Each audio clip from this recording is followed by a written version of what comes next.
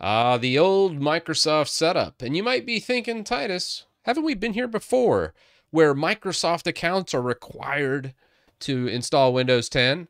Oh, okay, I already know, Titus. I got bypass NRO.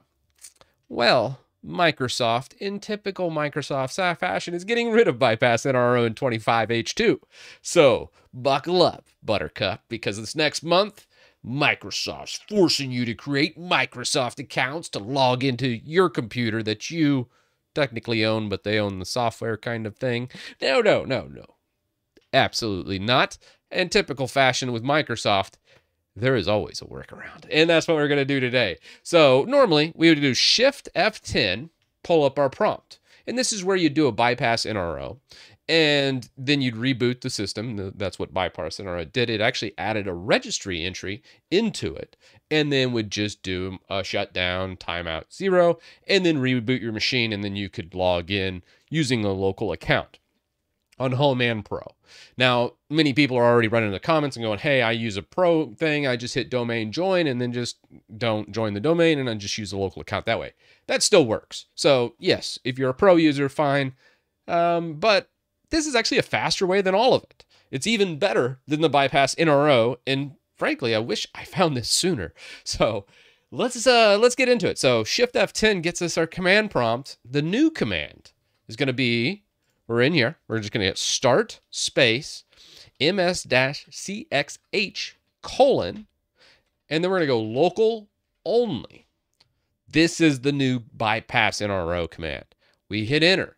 Why it's better is it's going to prompt us for the thing, and we can just say our username, in this instance, subscribe. We're going to go next, bypasses all the prompts, puts us right in. So if you're dealing with, you know, setting up your your your dad's computer or whatever for him, and you don't want to deal with all those questions and then having to set up a dirty Microsoft account so they can spy on you.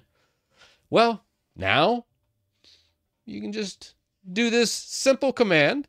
You can set up these things like they would honor whatever you type in here anyways. I'm just going to hit no, accept, and then you can use, oh no, shut up. You can use my Windows utility, whatever you feel like doing to, you know, lock down your system and remove some of the telemetry that's in Windows. But this is going to save you a ton of time and also make it so you don't need a Microsoft account. As you see, when we look at this, we'll just have this. Oh, subscribe, local account. And this is using Windows Home too. I wanted to demonstrate on a, a system you normally wouldn't be able to do this. So we'll type WinVer. You can see this is just 24H2, but this does work on 25H2. I've tested on some of the insider builds.